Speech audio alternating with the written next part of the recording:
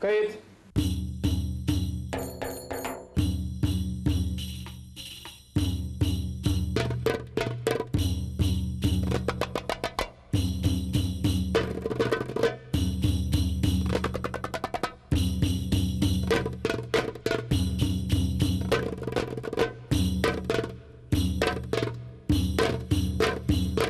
Bir gömleğini bana verir misin? Hayır.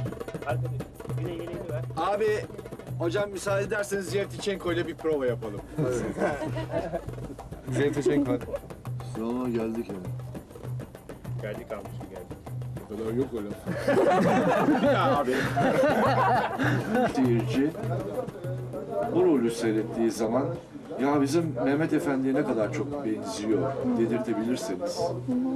Ya bu karşı komşunun kar- kocasına ne kadar çok benziyor. Ya aynı o adam dedirtebilirseniz o başarıyı yakalamışsınızdır. Benim gibi garibanlar ne istersin? Ne uğraşıyorsun benimle? Ne uğraşırsın benimle?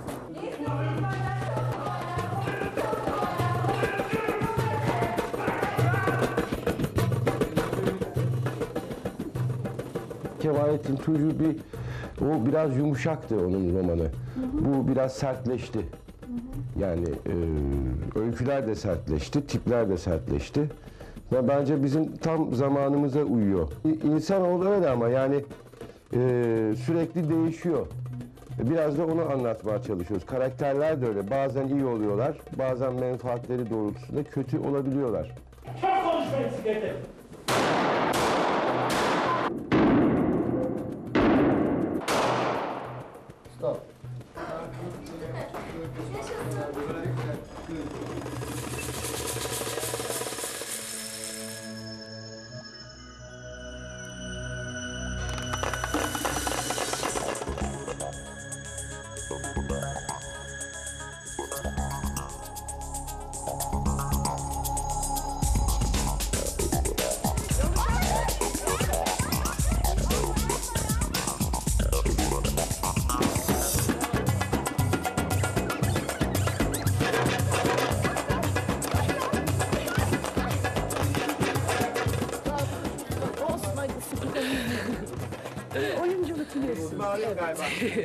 Canım da acıyor. Her şey Aslında hem melek hem şeytan. Artık yeter demeyecek miyiz? ne yapabiliriz ki Ne yapabiliriz Para ya?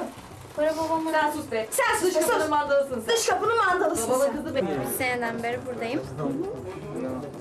İşte üvey babasından dayak yiyen, eziyet çeken bir kızım. Kötüyü canlandırmak gerçekten çok zor ki e, gerçek hayatta karakterinin tam tersi ise daha daha zor. Benim için öyle ama aramızda kalsın Bilal almak istemezdim.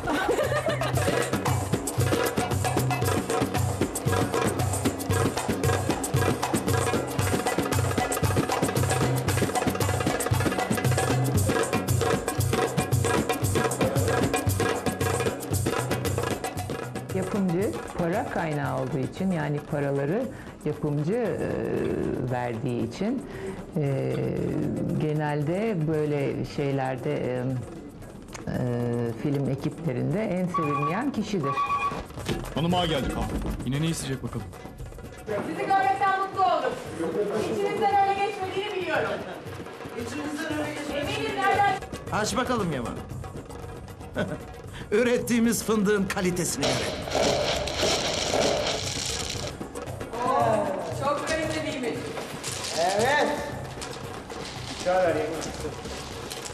Çok kaliteli galiba. Ha? Aa, olmadı abi çok. Hayatım boyunca çok yasa dışı iş yaptım. Ama asla bu iğrençliği düşünmedim. Ha!